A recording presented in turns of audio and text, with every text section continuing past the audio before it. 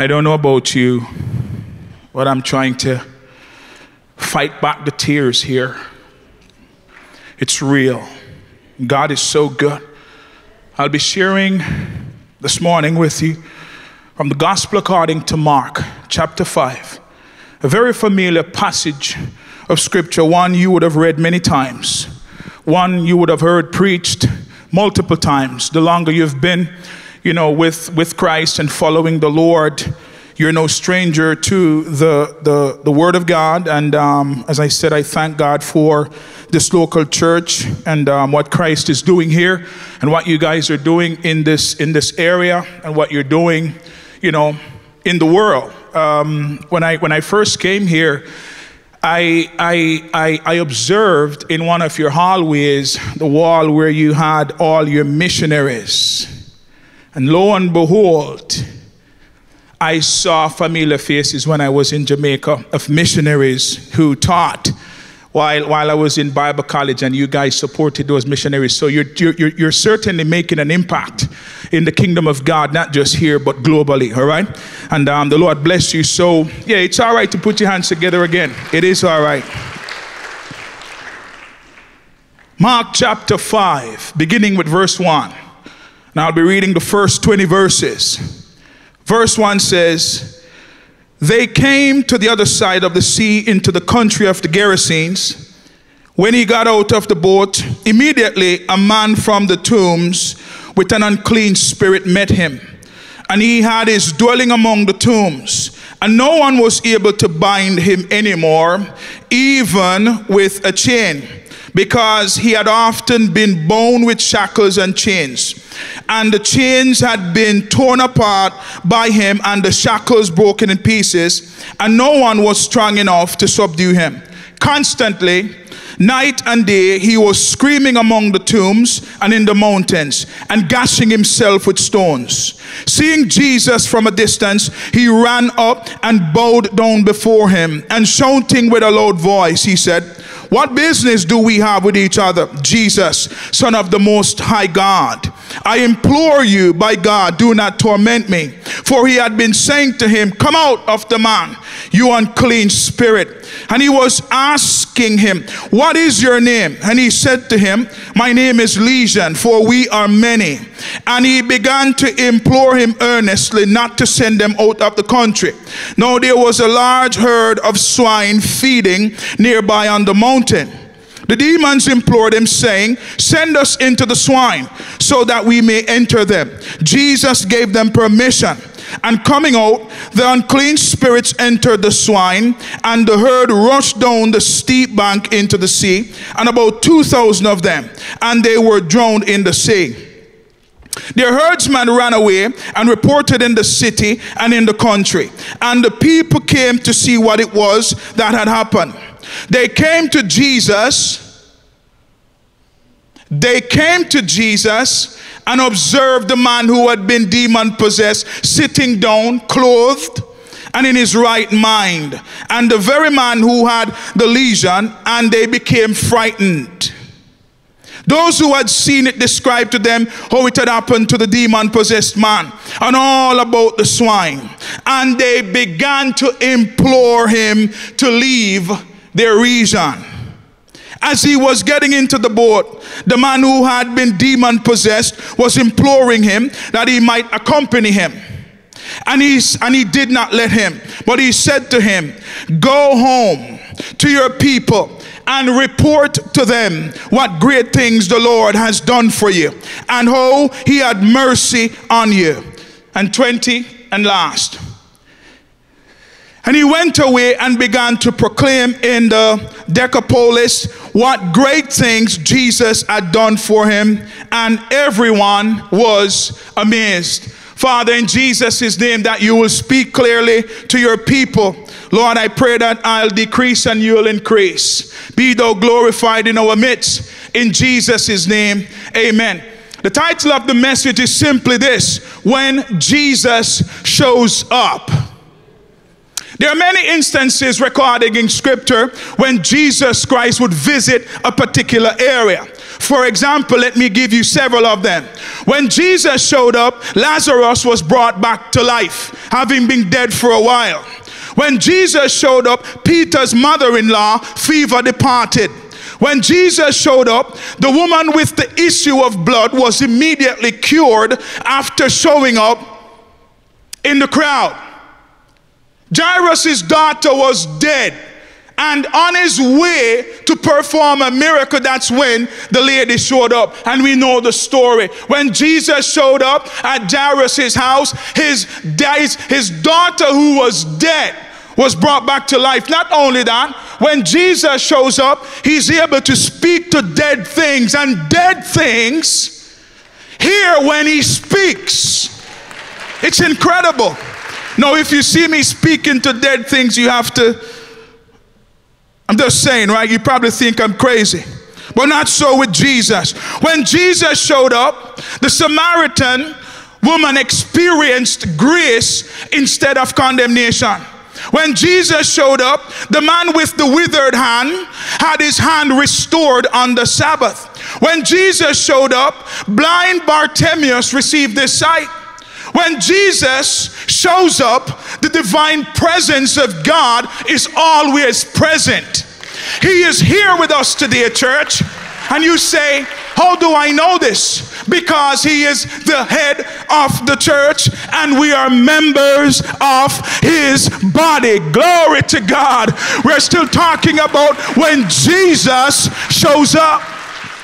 Let's dissect this passage of scripture after calming the storm at sea with his disciples in Mark 4, Jesus is approached immediately by a demonic possessed man in the opening of Mark chapter 5 in the country of the Gerasenes. His disciples never said a word to him, probably terrified due to fear or amazed by Jesus' approach in dealing with the demoniac. Brothers and sisters, I texted a friend of mine last night who I so happen to have a very good relationship with, a pastor friend of mine. He, he actually played the keyboard this morning. And I said to him, Pastor James, it dawned on me, having read the scripture so many times, Jesus encountered demoniacs while he was here on earth.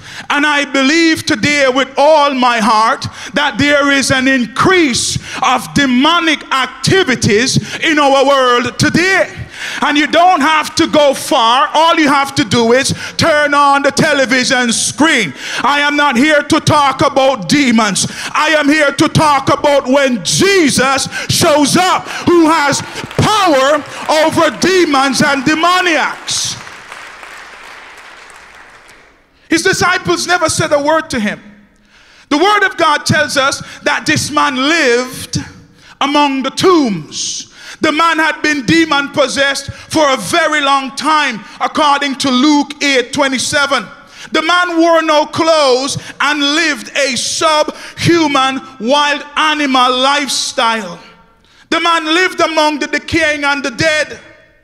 He lived among the decaying and the dead, contrary to Jewish law and human instinct, dwelling among the tombs. The man had supernatural strength. Chains were broken. The man was tormented and self destructing, crying out and cutting himself with stones. The man had uncontrollable. He had a very uncontrollable behavior. Neither could anyone tame him. We can be sure, brothers and sisters, that he did not start out life or his life this way. At one time, this man lived among others in the village. But his own irrational, wild behavior convinced the villagers that he was demon possessed or at least insane. They bound him with chains. Of course, humans trying to define and fix problems in our own strength, trying to diagnose things that we have absolutely no business diagnosing, and we sometimes misdiagnose people like these people did. Is that true? Oh, he was misdiagnosed. His behavior was so wild. As I said, the villagers were convinced that he was no demon possessed or insane. They bound him with chains to keep him from hurting others, but he broke the chains time and again. Finally, they drove him out of town and he lived in the village cemetery, a madman among the tombs, hurting the only person he could himself. I believe with all my heart, as the late Reverend David Wilkerson said, there is a devil behind the needles, and he's probably somewhere hidden in the powder people are injecting themselves with. I, I believe it. The Word of God says he was uncontrollable. His demonic strength caused him to break free from every attempt to restrain him. He was in lots of pain due to constantly cutting himself with stones. Cutting has been around for a very long time. And if it was demonic then to practice that kind of stuff, is it possible that it is still demonically influenced today?